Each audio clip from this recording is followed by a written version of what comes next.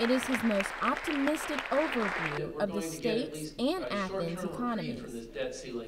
The forecast for Georgia is better than it's been for some time. And we've really been lagging the country since the recession hit, both in terms of growth and in terms of uh, employment. This year, we're expecting that Georgia will outperform the nation by a small margin. We'll see growth of about 2.1 percent.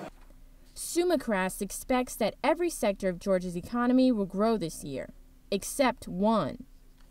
The only sector that we're expecting to see uh, a loss of jobs will be government. He also said the large expansions and relocations of businesses like Caterpillar, Baxter International, and State Farm will greatly help the economy. As accounting major Eli Garrett contemplates his future, this is good news.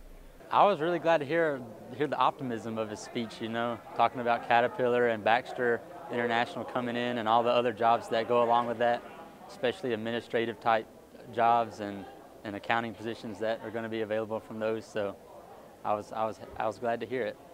Dean Sumichrast travels to 12 different cities in state and a couple outside to give his overview of Georgia's economy. He will be speaking at three more events before he leaves UGA to act as the Dean of Virginia Tech's Business School. Sumichrast says he is excited to go home to Virginia and his wife's family, but he will be missed by the Athens business and university communities.